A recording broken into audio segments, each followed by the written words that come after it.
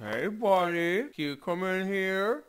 Yeah? So, one of your coworkers complained that you've taken issue with our black inclusivity seminars. What's going on, homie?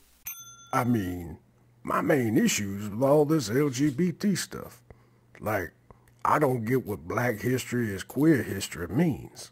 Oh, yeah, yeah. Let me explain. As a black person, you're gay. What the f- Yeah, no, black people are gay. That that's what corporate America and, and white ladies on Twitter decided. So that's just what it's gonna be. Got it? What are you talking about? So here's the thing. Black people are upset. And you know what they're upset about? Well, I'm... No one knows. No one can figure it out. We can't. No one seems to understand what you people, by which I do mean black, so don't ask, are so darn peeved about. So we figured it must be because you want the right to love a man. What? My grandpa couldn't even use the same restroom as white folks. And now you can't pee next to little girls while wearing a dress. I hear you. Dude, where are you getting this? When did the black community come together and ask you to use us as mascots for this LGBTQ crap? Oh, Johnson, I thought you'd understand. Of course your community embraces it. In movies and TV shows, black characters always wear dresses. Producers make a point of having that happen. Yeah, creepy producers who want to take dignity away from black people. Because it's really silly and uplifting for your community, bud.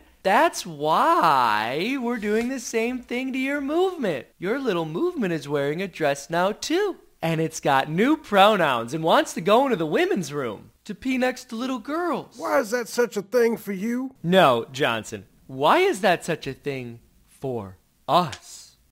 This is what the establishment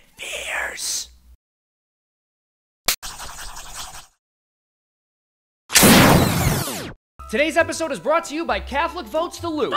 Your free daily news delivered straight to your inbox. Keep up on current events with a group that uses biologically correct pronouns and is literally suing the FBI. You can't get more based than that. Sign up for the Loop today. The Loop!